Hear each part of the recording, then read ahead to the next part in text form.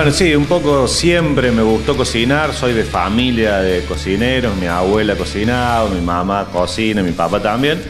Este, y eh, la cuenta empieza un poco cuando me junto con, con amigos a cocinar y mm, querían compartir lo que, lo que yo había, habíamos comido esa noche, algún plato elaborado, algún asado a la, llama o algo por el estilo, querían compartirlo.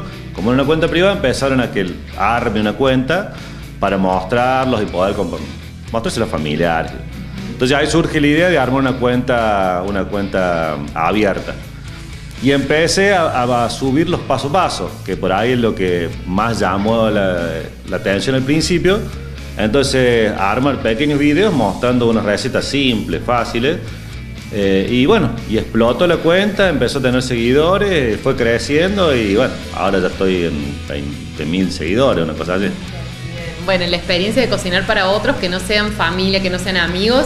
Eh, bueno, ¿cómo fue ese pasaje, no? De hacerlo en la intimidad de los amigos y del hogar hacia otra gente.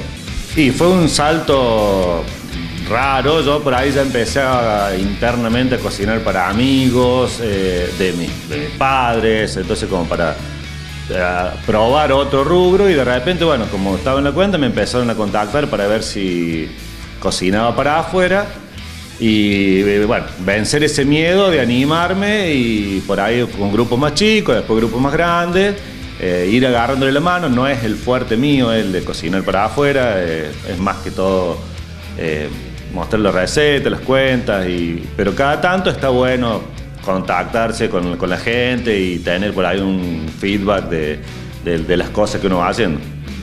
Bien, bueno, eh, ¿cuáles son esos menús elegidos? Lo que te gusta más hacer a vos, lo que le gusta más a la gente. ¿Hay eso ya más o menos que podés decirlo?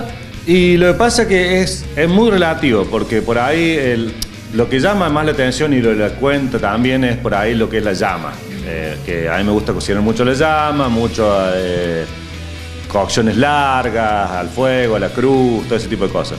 Este, pero para, los eventos privados eh, ese es uno de los principales y por ahí también que a mí me gusta jugar y, buscarle la vuelta y para los coros hacer pinchos diferentes que no son conocidos o porque los invento yo, pero qué sé yo, envolver en tiritas de matambre de cerdo una salchicha parrillera y pintarla con una miel saborizada picante.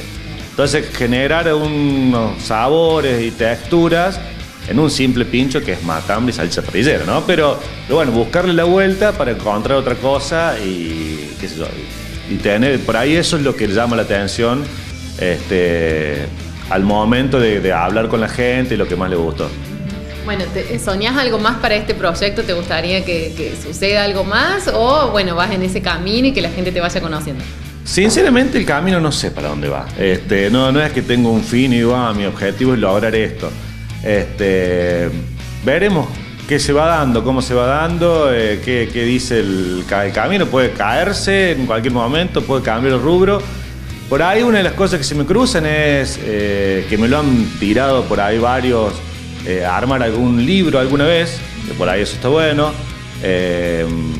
algún programa no de televisión diaria ni por casualidad, pero por ahí eh, tengo, también tengo un canal de YouTube donde eh, hay no, la misma cantidad de seguidores, pero un número importante. Eh, por ahí hacer algún tipo de producción, que también lo he hablado, me han contactado para organizar algo por eso, y bueno, ir viendo, ir viendo qué se va dando y veremos, veremos qué es el destino. Eh, se ha ido uniendo algunas veces, con algunas oportunidades con lugares de la ciudad o de la región o con minerías, esto de poder combinarse y poder ir encontrándose estas pasiones, ¿no? Claro, eso también estuvo bueno porque me han, o sea, locales de Río Tercero nos, ponemos en contacto y por ahí yo voy a cocinar en, un evento especial.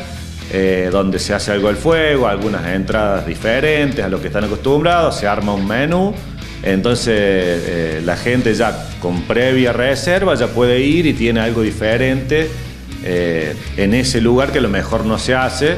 Este, acá en UPA podría ser también alguna vez. Este, pero mm, por ahí esas fusiones están buenas para generar algo distinto y una noche distinta para la gente y para el lugar donde, donde se ha hablado. Bueno, la gente puede seguir la cuenta entonces, ¿cómo los busca? ¿Cómo te busca? Como SAES, Z-A-E-Z, eh, Fuegos y más, que no es más que Zaragoza de Ezequiel, es la- la- la- las primeras dos letras del apellido y el nombre. Saez, Fuegos y más. Ahí están bueno, algunas de las cosas que voy haciendo y las recetas paso a paso, eventos cada tanto cuando salen, pueden ir viendo un poco todo lo que se va haciendo.